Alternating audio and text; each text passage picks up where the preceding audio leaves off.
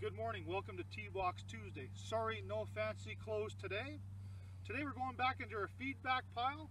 Apparently a lot of people want to know how to fix a divot on a green. So we're on the 15th hole at uh, the Turner Valley Golf Club and I've hit a wedge in here and I've left a mark in the green.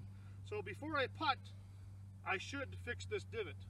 Little did you know that a divot fixed will be fixed and will be repaired in 24 hours, where an unfixed ball mark will take two weeks to get back to normal. So everybody should have a divot tool.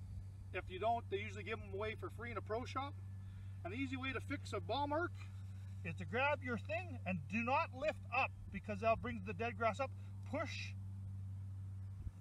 the grass forward.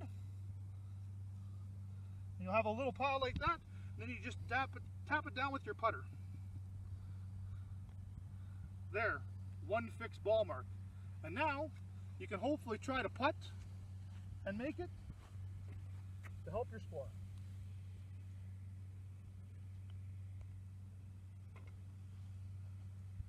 Watch this uh, video a couple times and you'll have no problem knowing the proper technique to fix a divot.